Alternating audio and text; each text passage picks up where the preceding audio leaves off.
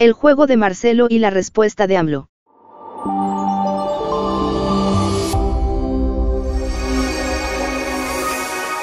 Estás viendo Si te vende, donde informamos bajo la primicia de ser un medio disruptivo, independiente, alternativo e incluyente. Aquí tú sacas tus propias conclusiones y con total libertad tienes la posibilidad de expresarlas en los comentarios de este video. Por favor hazlo, te queremos leer. De no usar el casillero de los comentarios, nuestro esfuerzo de nada servirá.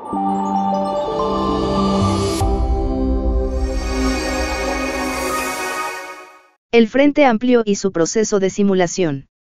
Esta semana Marcelo Ebrard cimbró a la clase política de la 4T, al denunciar que el proceso interno de Morena ha estado plagado de irregularidades y hasta de delitos electorales que involucran el uso abierto y descarado de recursos públicos al utilizar, según el dicho del aspirante morenista, brigadas de la Secretaría del Bienestar y Recursos del Gobierno de la CDMX en la promoción de una de las participantes en la elección interna del partido gobernante.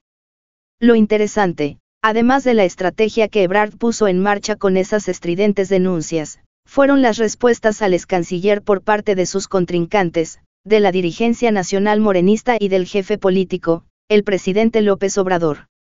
Desde la negación del desvío de recursos públicos y el acarreo a sus eventos que hizo Claudia Seinbaum, quien pretendió no alterarse ni engancharse con la declaración de guerra que le lanzó Ebrard, hasta la falta de respeto que reclamó Adán Augusto porque lo desaparezcan de la competencia o el respaldo tibio que le dio Ricardo Monreal a su aliado el canciller, para concluir con las pullas y airados reclamos del diputado Fernández Noroña.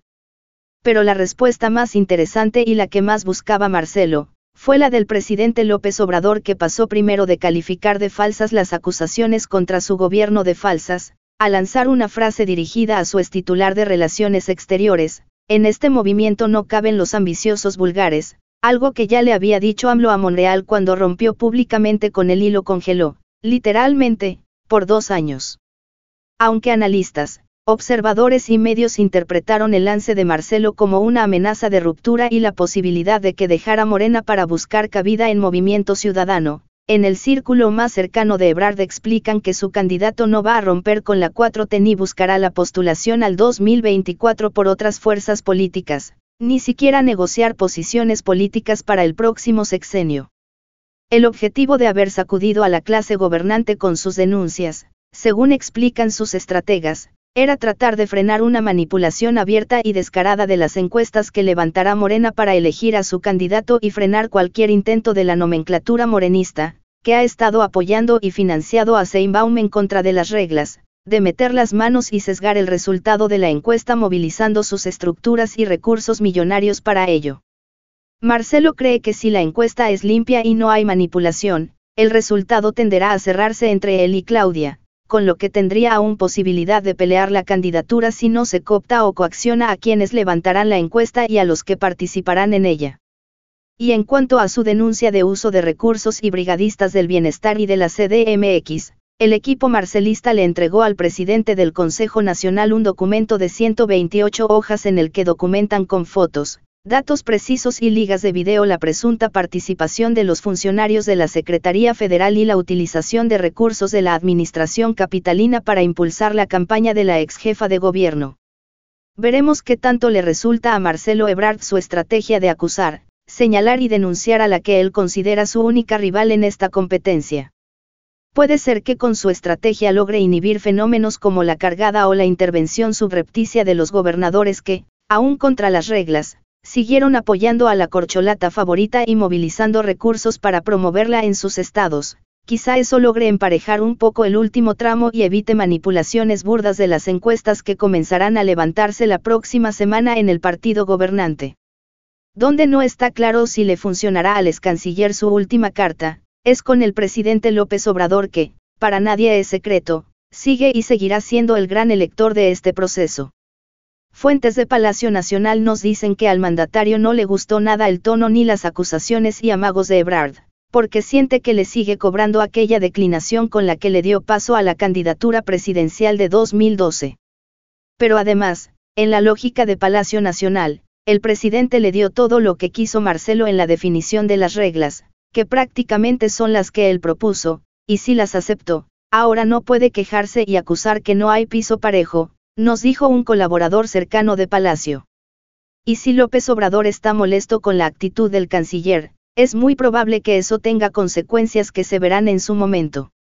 Por lo pronto, aunque eso no lo dicen los allegados de Marcelo, su estrategia, si no busca la ruptura y postularse por otro partido a las elecciones presidenciales de 2024, lo que sí podría lograr si es que no rompe con la 4T, es que la negociación política que necesariamente vendrá tras conocerse el nombre del ganador o ganadora de las encuestas sea mucho más favorable y jugosa para el equipo ebrardista, que bien podría terminar dirigiendo el Senado de la República.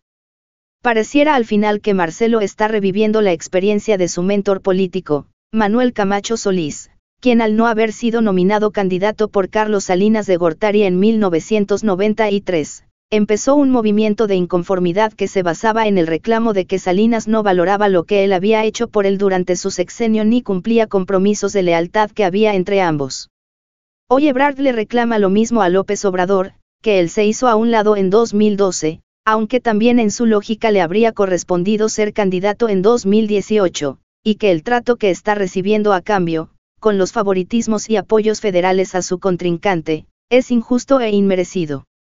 Mientras tanto, en lo que las aguas del proceso morenista se enturbian cada vez más, el que aparece como el principal beneficiario de la polarización y enfrentamiento entre Claudia y Marcelo, es Adán Augusto López.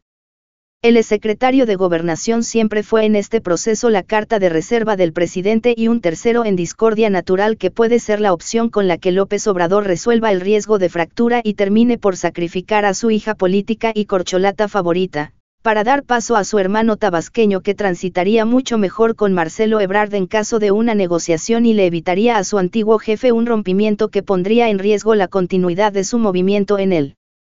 poder. Y entonces, más que rupturas habrá sorpresas en el resultado de las encuestas.